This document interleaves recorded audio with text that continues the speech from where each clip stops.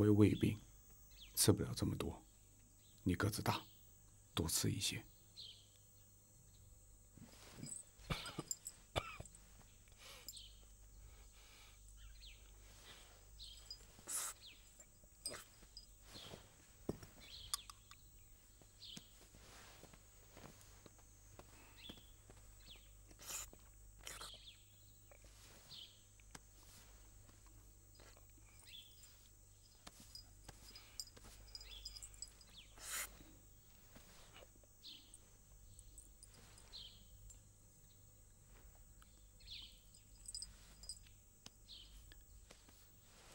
你承认是自己开枪的了？先吃饭，吃完饭我们单独说。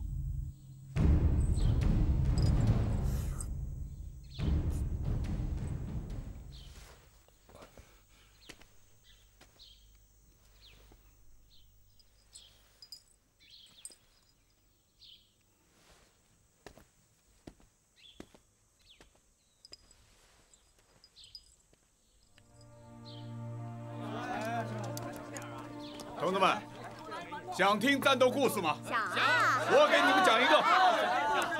听小高同志讲故事啊！来这里的本来是个三人小组，我、管团长，还有个年轻人小丁。走到霍山，我们在一户贫苦人家借住，没想到这家人是敌人假扮的。半夜，敌人围上来，我和小丁正要撤。一颗子弹就打中了他，伤很重。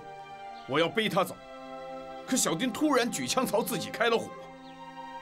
现在我还记得小丁临死前说的话：“别为了一个人耽误革命大事。”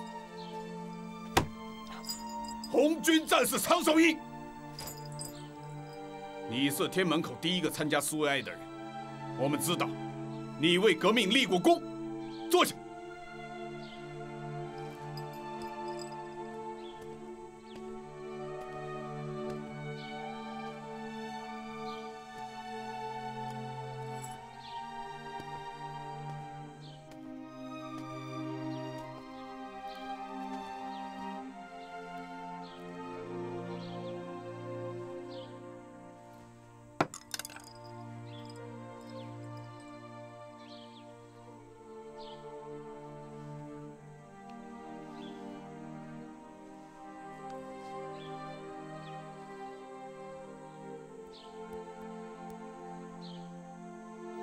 动者的手，摸着就让人觉得踏实。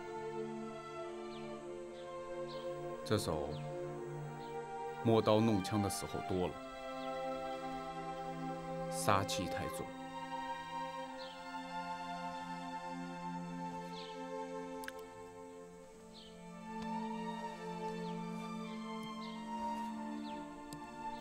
结婚了吗？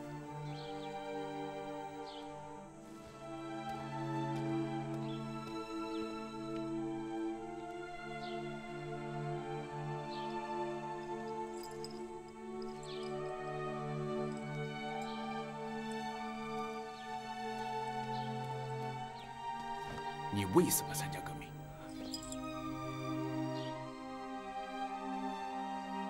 我要为穷苦人做点事，这话我信。但是更直接的理由你没有说。你做苦力做了大半辈子，心里不安分，总想过好日子，总想有个女人。革命来了，你把革命当成翻身的机会。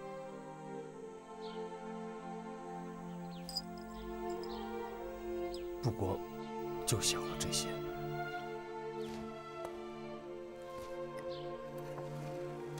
不要浪费啊，我们还有时间，我还会找你。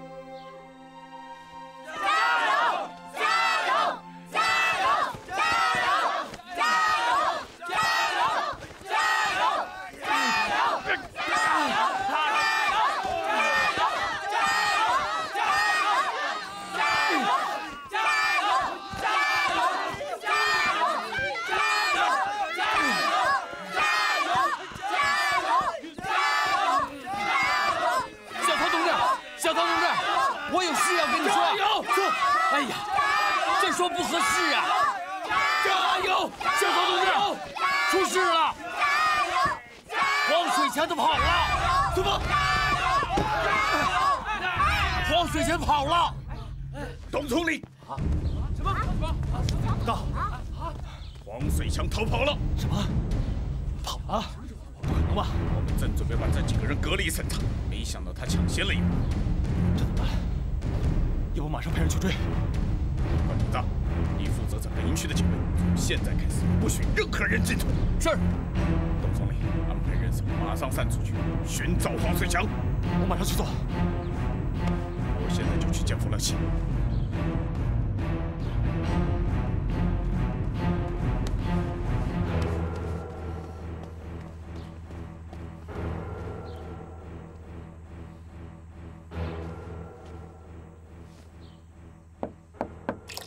谁呀？我是小曹，找一下弗朗西同志。我的肺病加重了，可能会传染。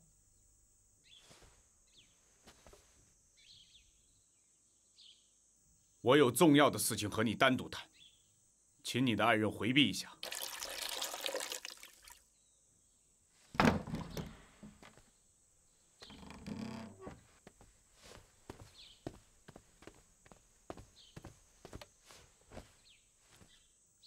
黄水强逃跑了。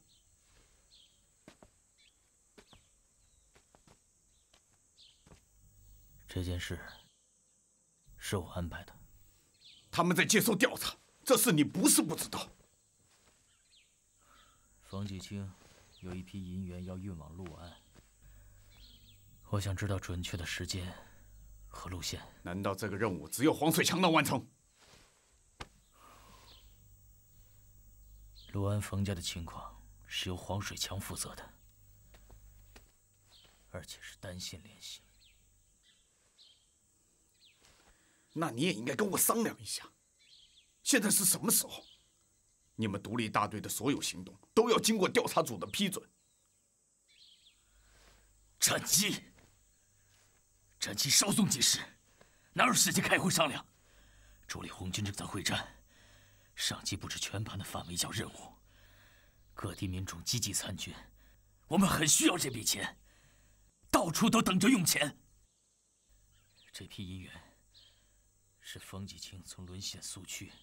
敲骨头、砍脑壳榨出来的，每一块银元都沾满了红军家属的鲜血。我要是不把这批银元抢回来，对不起老百姓。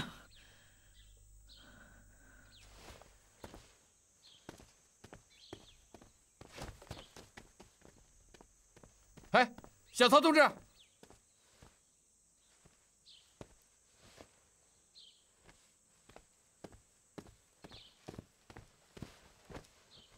我们怎么办？追还是不追？追，一定要追！是，回来。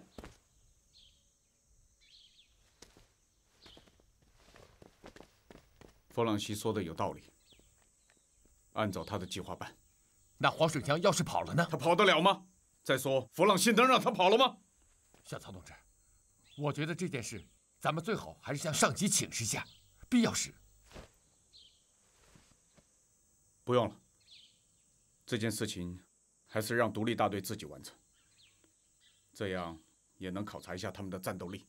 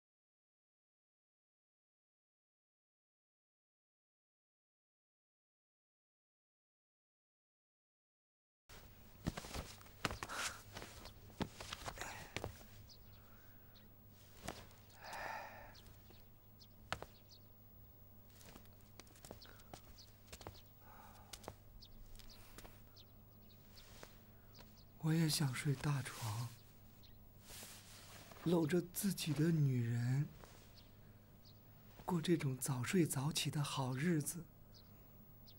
我不干了，我要挣大钱。你想叛变？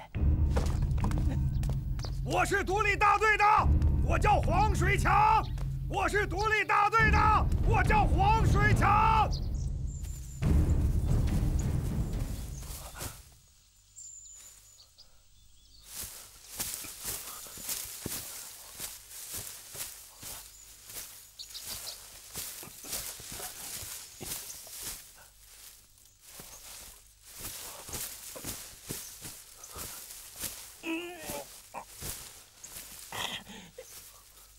干嘛呀？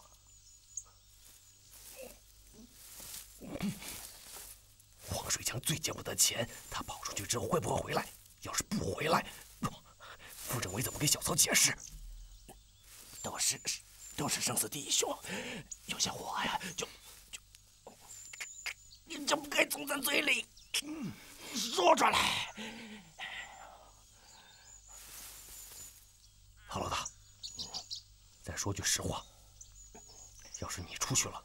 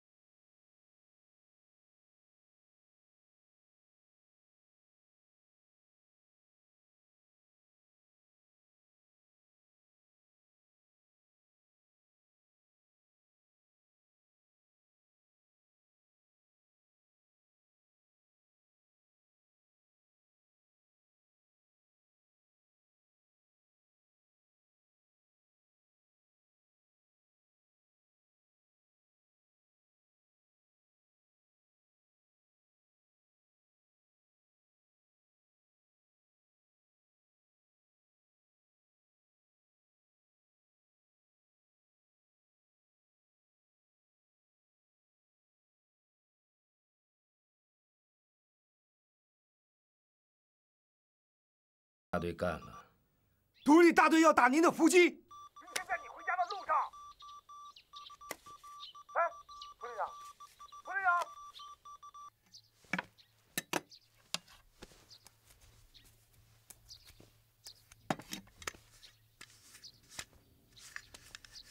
弗朗西同志，我想知道你的战斗部署。小曹同志对独立大队的伏击这么没信心？所有的信心都建立在精密的谋划上。我不想看着队伍去干鸡蛋碰石头的傻事。在小曹同志眼中，独立大队就这么不堪一击？我担心的是指挥员。杭老大的情况你不是不知道。让一个正在接受调查的同志指挥战斗，我不放心。杭老大现在担任独立大队指挥官就是不合适。小曹同志认为，应该由管团长来出任指挥，是吗？管团长以前是主力红军的指挥官，大小战役参加过上百次，歼灭战、阻击战都指挥过，战斗经验十分丰富。我还有个人选，比他更了解独立大队，更了解冯继清。谁？我。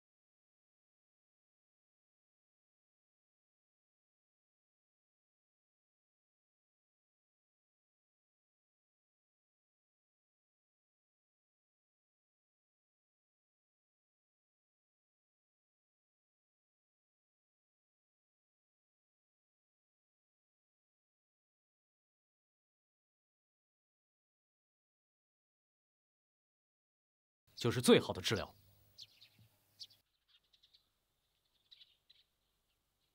就为了点吃喝，为了不能睡女人，为了洋钱，就背叛你的信仰，在山里。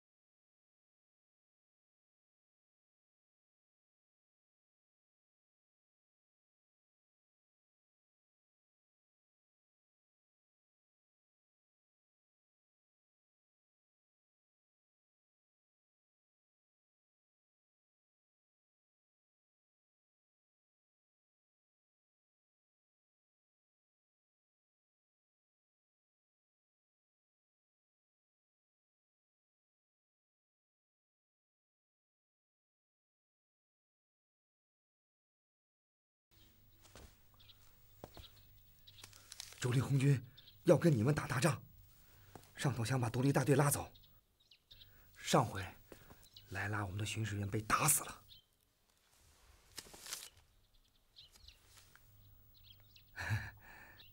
独立大队这才没有叫他们拉出去送死。这次上头的意思是，查清事情原委之后，还是要把独立大队带走。这巡视员是怎么死的？上头怀疑是被自己人打死的。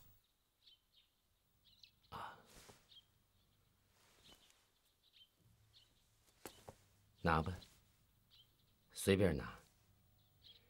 你身上能装多少就拿多少。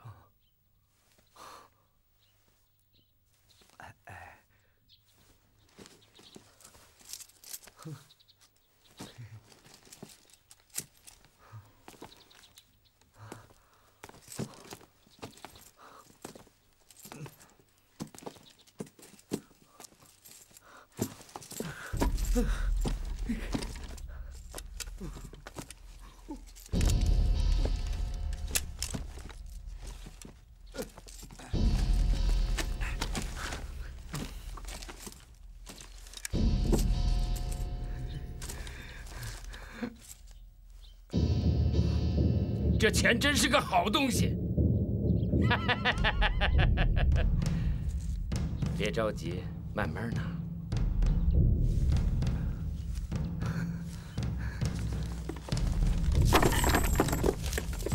旅长，你真的信了？你看他那副见钱不要命的贪婪样，他要是不爱钱，也许今天这后脑就多了个洞。让他拿上钱。明天给咱们带路。来，八块奖，这儿，哎，这边还有呢。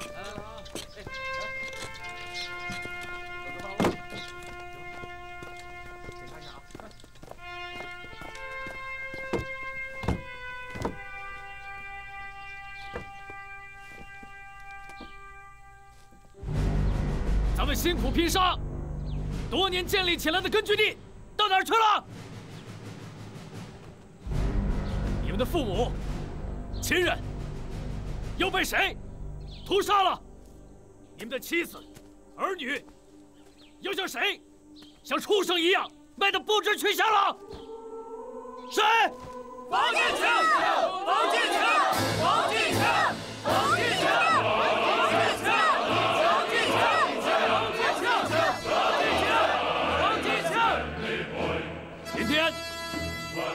去打冯继清的伏击，你们有没有胆子跟我一起用鸡蛋碰一碰这石头？有，小涛同志，这黑轿子还真是挺威风的。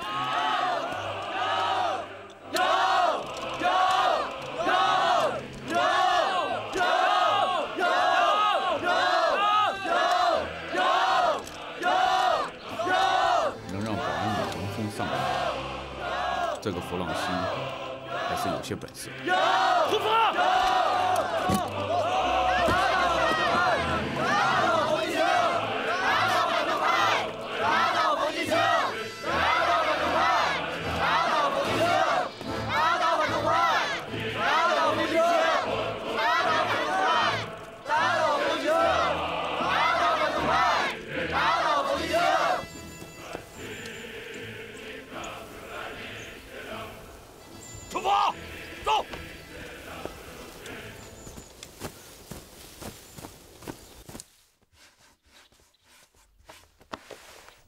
出来，你是遇上难事了。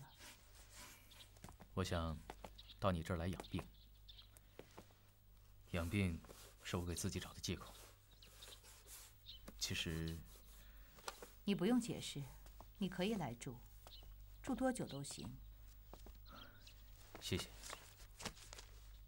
既然你的境遇难以解释，也就省了我挖空心思措辞为你开脱。你什么时候住进来？我让杨桃为你准备房间。最快也要几天以后。我现在得先去赴个约。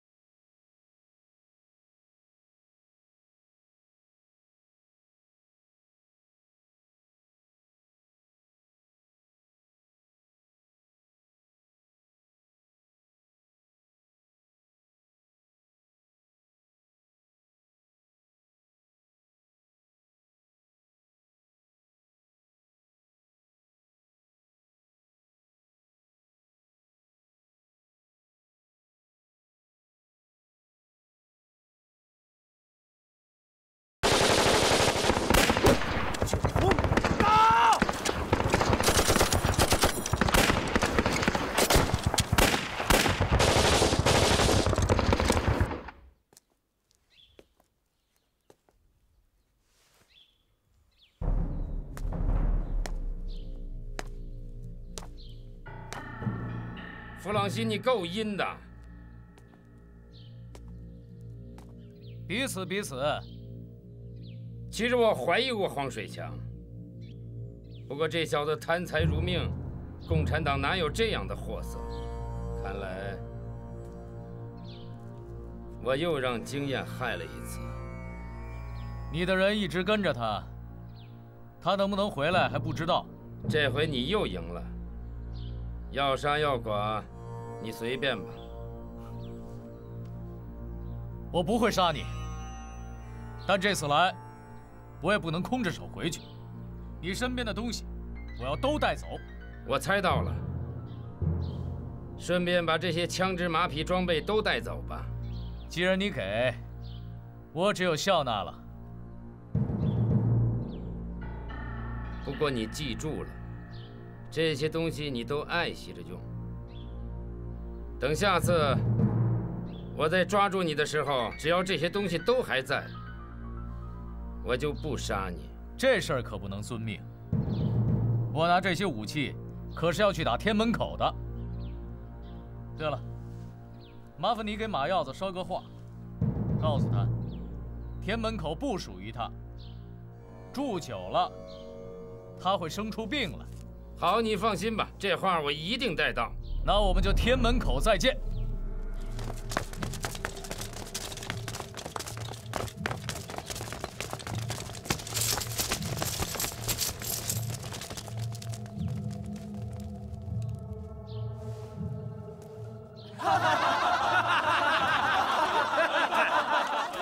冯继清那是什么样的人？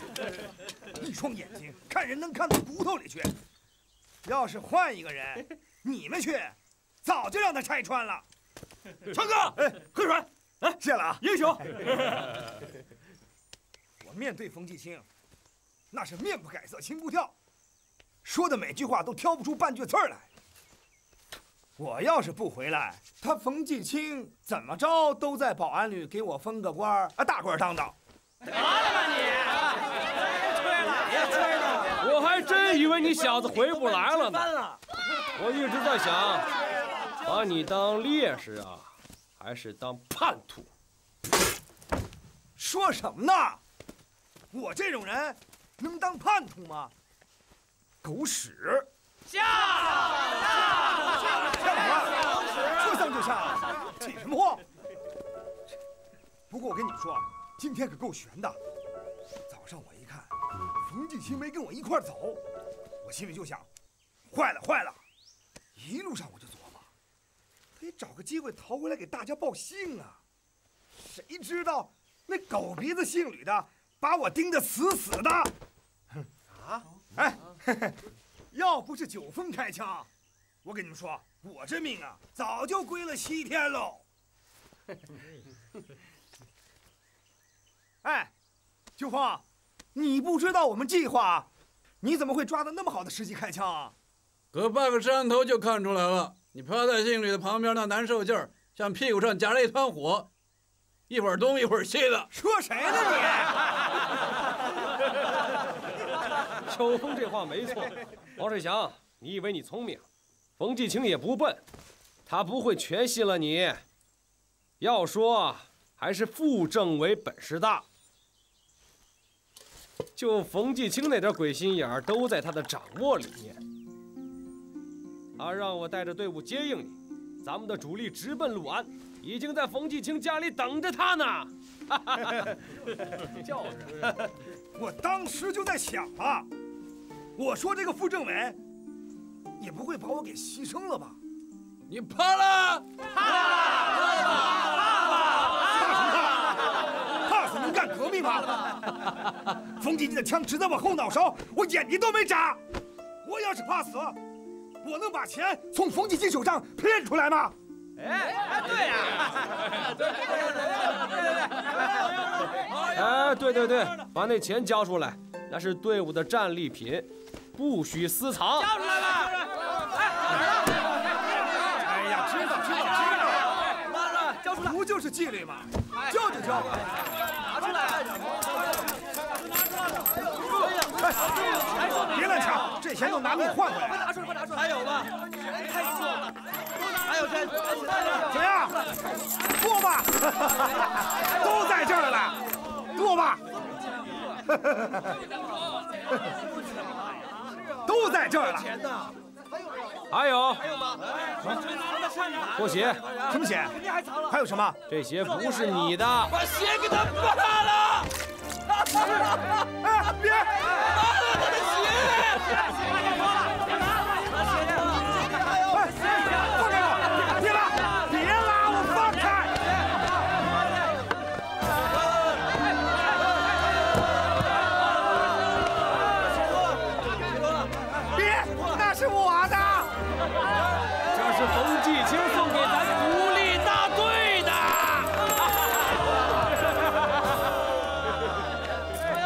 我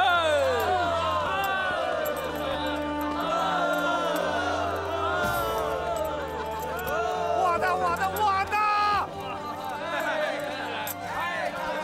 哎呀，我的，我的！强哥，傻了吗？滚蛋！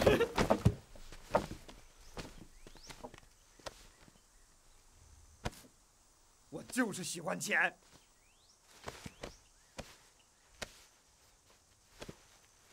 嗯，你的。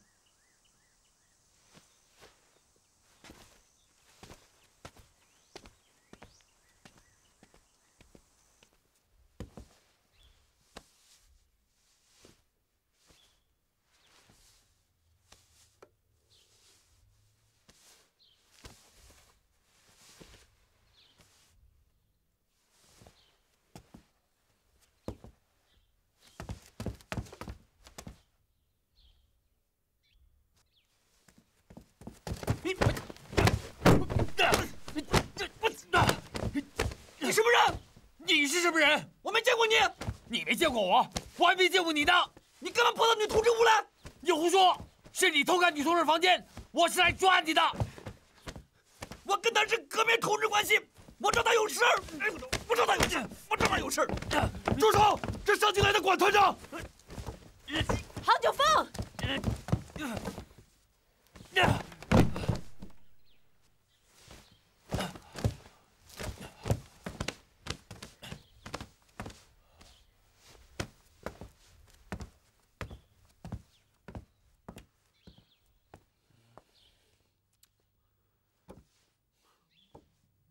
为什么总要来找我？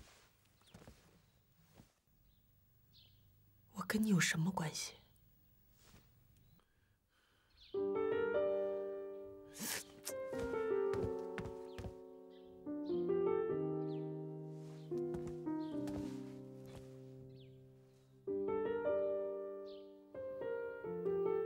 我是有丈夫的人，你能不能不由着性子，替别人想想。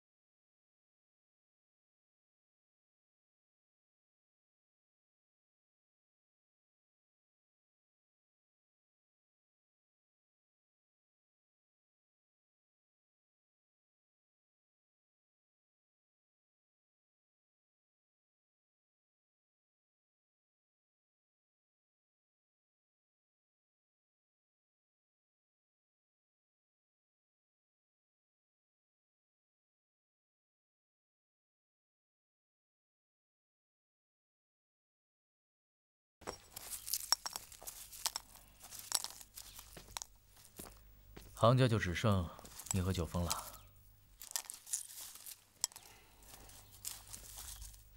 杭大爹死的时候，身边连一个亲人都没有。傅政委，你想跟我说什么？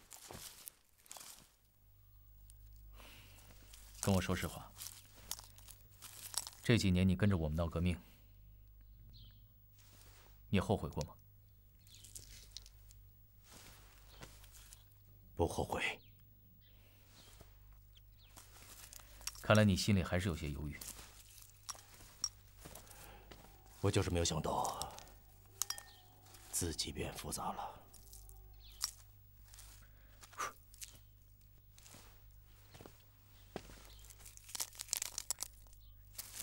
你变得还不够，你脑子里想的还太简单。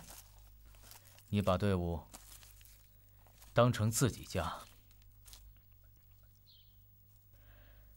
比起以前是进步了。